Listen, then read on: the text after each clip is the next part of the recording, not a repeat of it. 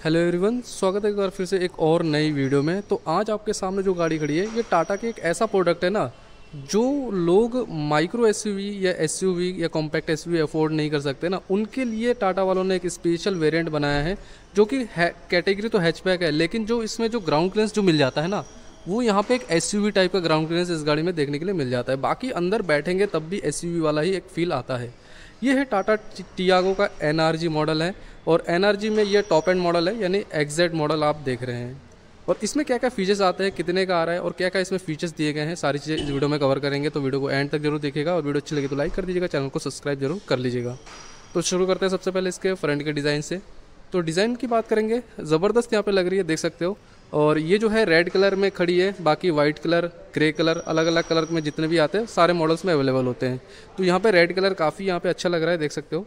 और यहाँ पे देखेंगे तो इसके फ्रंट में स्किट प्लेटें दी गई है, जिससे एक एस टाइप का जो फील होता है ना, वो यहाँ पे ज़रूर यहाँ पे देखने के लिए मिलता है। बाकी जो है हैचबैक कैटेगरी में कोई भी गाड़ी में स्किट प्लेटें नहीं दी जाती है, लेकिन यहाँ पे दिया गया है, इससे एक एस वाली फील आ रही है।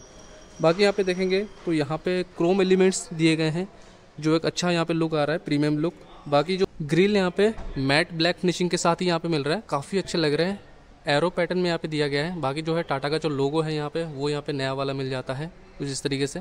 बाकी जो है इसके हेडलाइट्स की बात करेंगे तो हेडलाइट्स यहाँ पे प्रोजेक्टर फॉर्म में मिलता है, देख सकते हो। कि लाइटें यहाँ पे देखेंगे तो ये लाइटें एलईडी में तो नहीं मिलता है, यानी इसकी जो बीम है वो येलो बीम है बट इसमें प्रोजेक्टर हेडलाइट ज़रूर यहाँ पे मिल जाता है लेंस वाले जो है।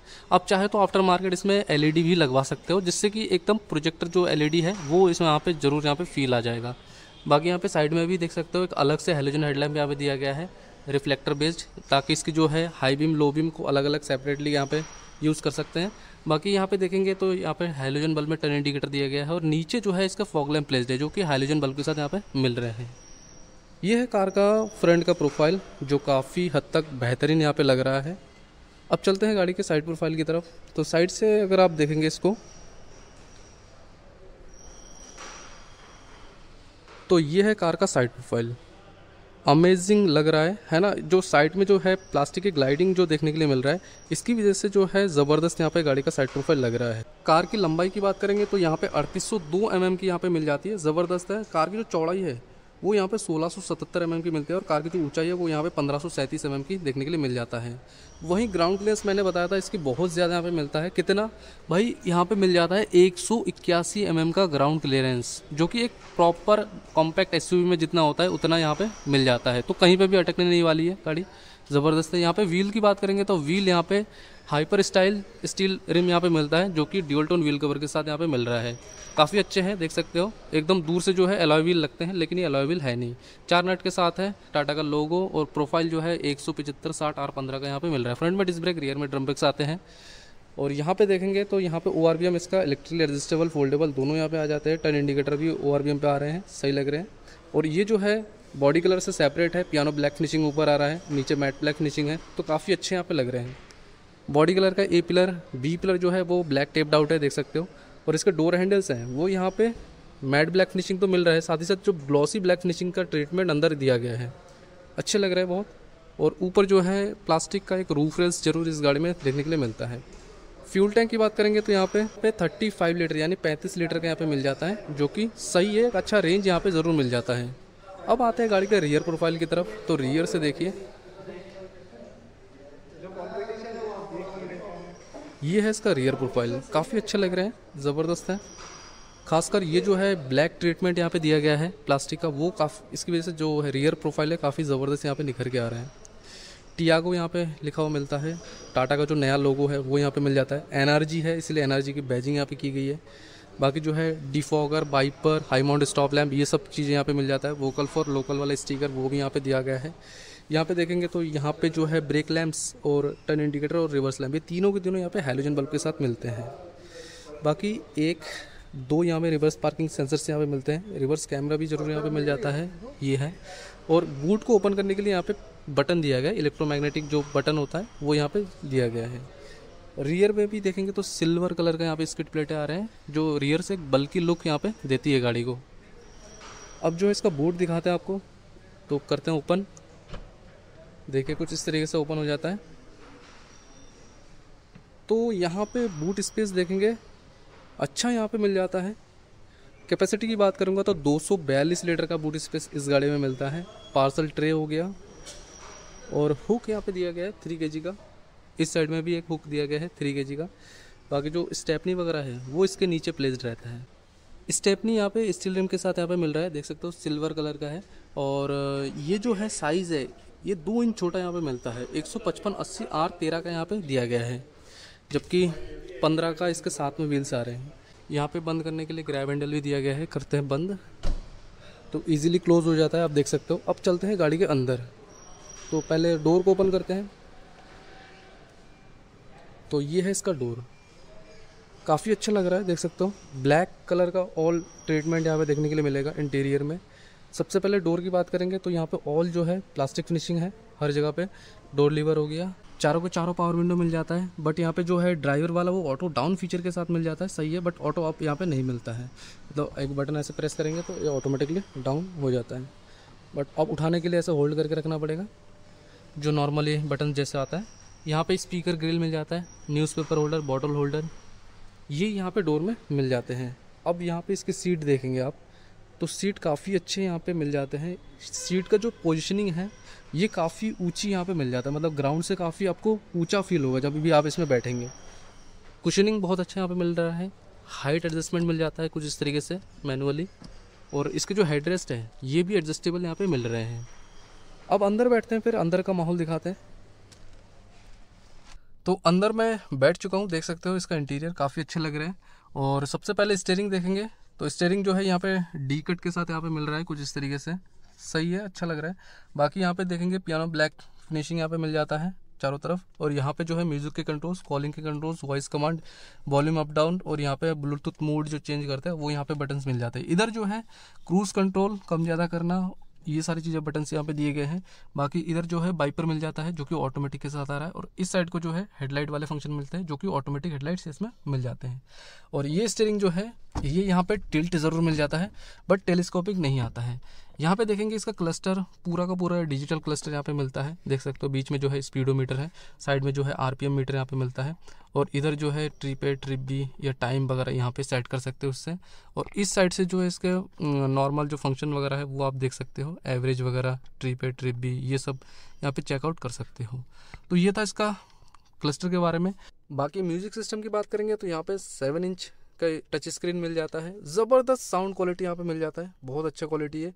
और इसकी जो टच रिस्पॉन्स है, वो भी बहुत बढ़िया है। और इसमें Android auto Apple car play play हो जाता है यूज़ होता है। लेकिन उसके लिए आपको वायर कनेक्ट करना पड़ता है।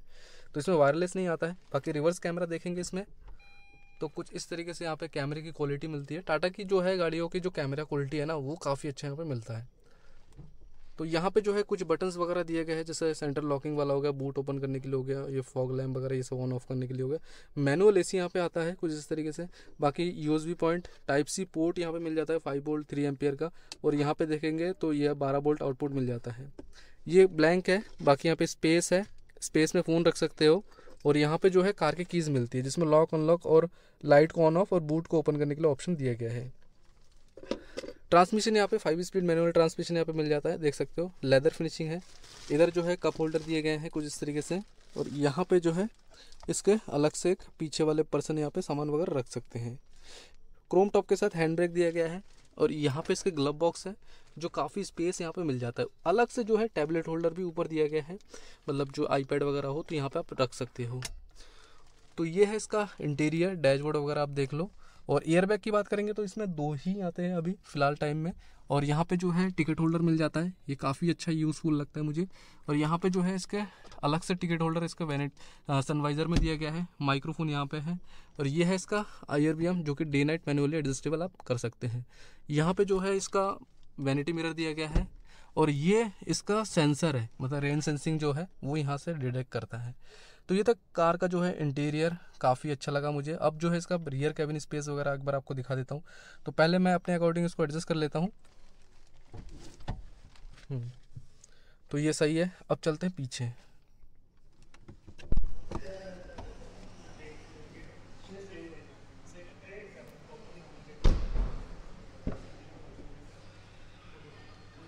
ये है इसका रियर वाले डोर देखेंगे। सेम जो फ्रंट में था वैसे ही यहाँ पे भी मिलता है।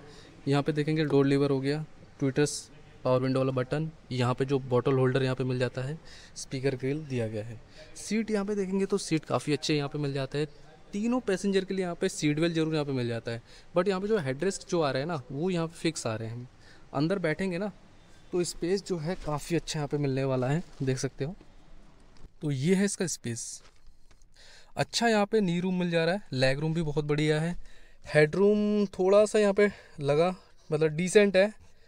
लेकिन अगर आपकी हाइट अगर ज़्यादा हुई तो यहाँ पे आपको सिर यहाँ पे लग सकता है। बाकी मैंने आपको बता दिया, यहाँ पे पीछे वाले पर्सर के लिए यहाँ पे स्पेस दिया गया है बॉटल वगैरह रखने के लिए।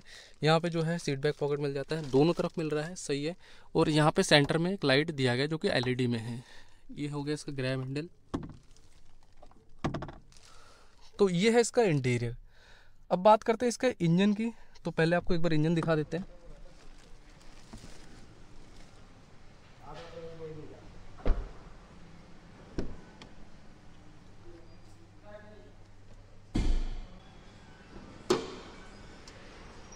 ये है इसका इंजन देख सकते हो? बहुत अच्छे से यहाँ पे प्लेस्ड है। बाकी ये जो इंजन आता है ना, ये थ्री सिलेंडर के साथ आता है।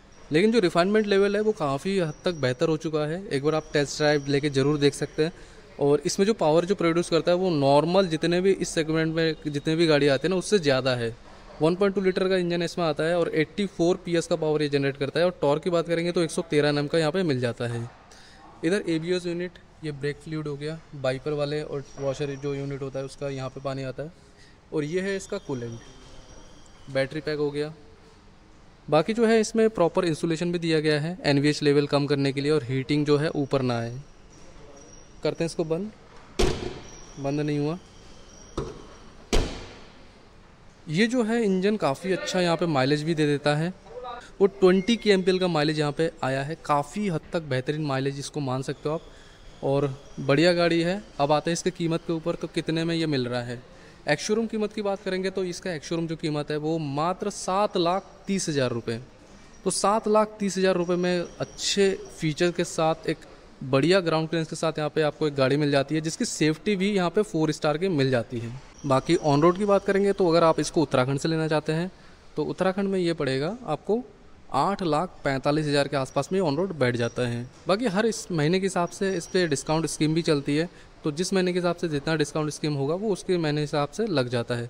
अगर आप इसको परचेस करना चाहते हो तो मैंने डिस्क्रिप्शन में कॉन्टैक्ट डिटेल वगैरह दे दिया है। आप कॉन्टैक्ट करके आप इस गाड़ी को बुक करा सकते हैं। कैसे लगे गाड़ी कमेंट करके ज़रूर बताना। वीडियो अच्छी लगी तो लाइक करिए चैनल को सब्सक्राइब करिए। और वीडियो को पूरा देखने के लिए आपका बहुत बहुत धन्यवाद।